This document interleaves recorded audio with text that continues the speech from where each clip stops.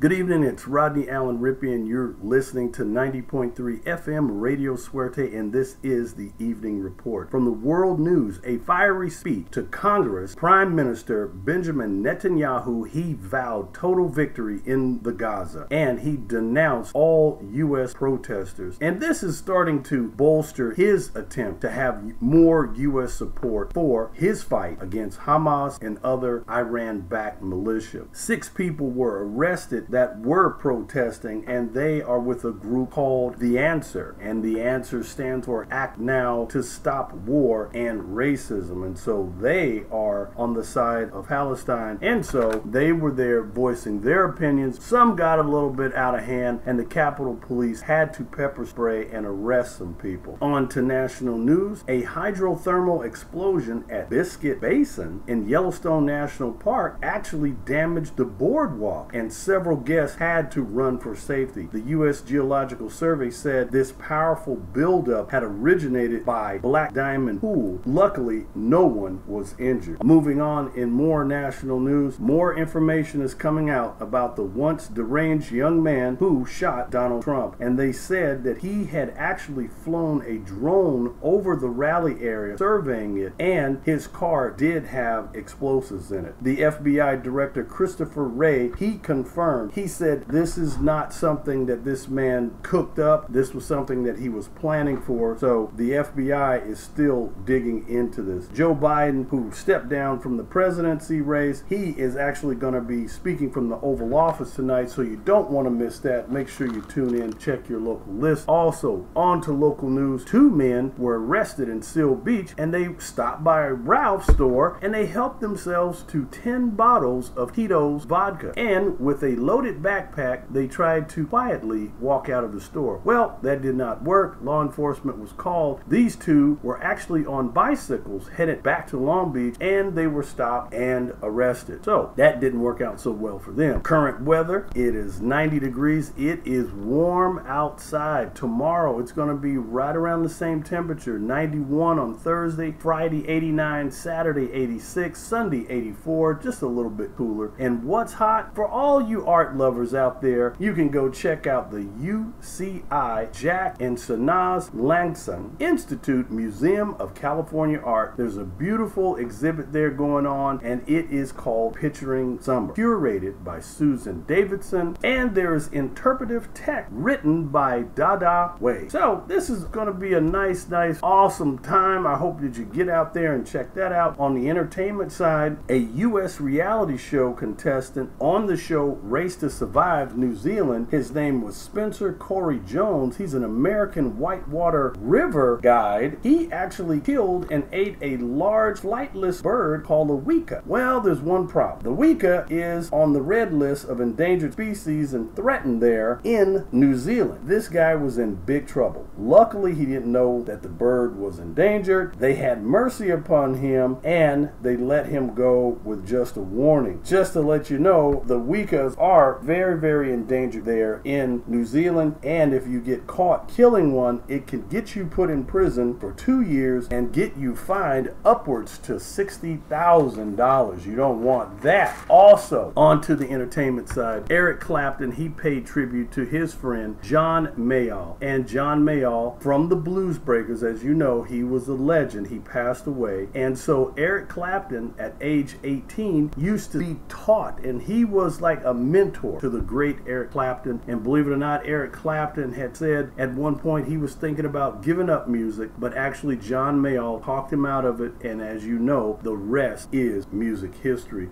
I have a, an exclusive interview with a dear, dear friend. His name is Rockwell Sheraton. He also knew Mr. John Mayall, and this is what he had to say.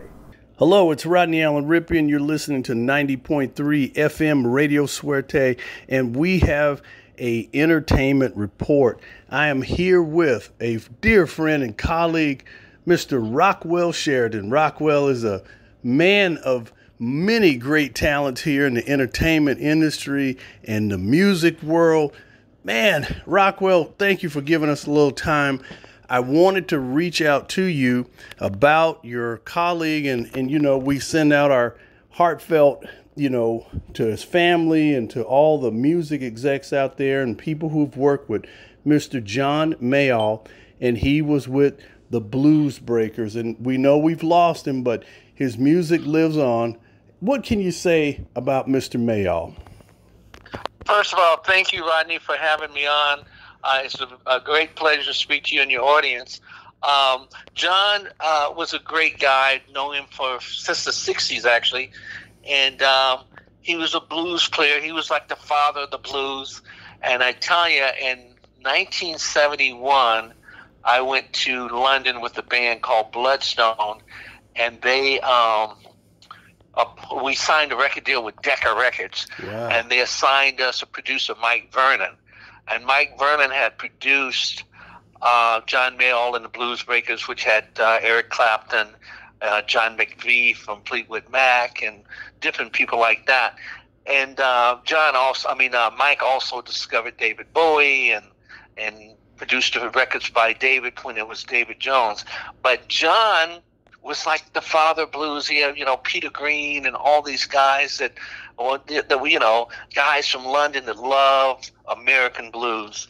And uh, and then when John moved here to Los Angeles, he lived in Laurel Canyon, oh. and we spent many of summers at his house with Alice Cooper and Mickey Dolenz from the Monkees and Harry Nilsson, and just a ton of us. We'd go over and swim all day and had a bunch of girls around. Of course, that's what kind of kept us over there. But at any rate, uh, he was a wonderful, wonderful person.